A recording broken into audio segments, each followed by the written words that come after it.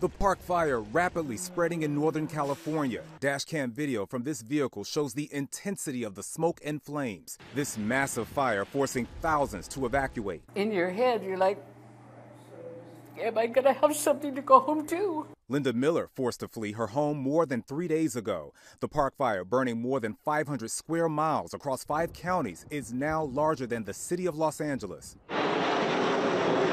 everyone on alert for shifting winds when flames can jump the fire line. We actually now have to move. We have to back up.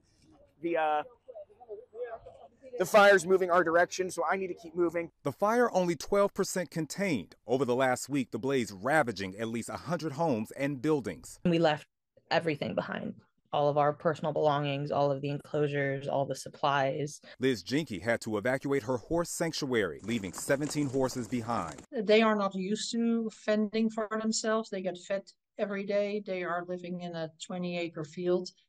And it was kind of hard to watch them leave and run. More than 4,700 firefighters working around the clock, fighting the flames on the ground and in the air. Fire crews expect that it will take at least a month to completely knock down the park fire. Tim Pulliam, ABC News, Los Angeles.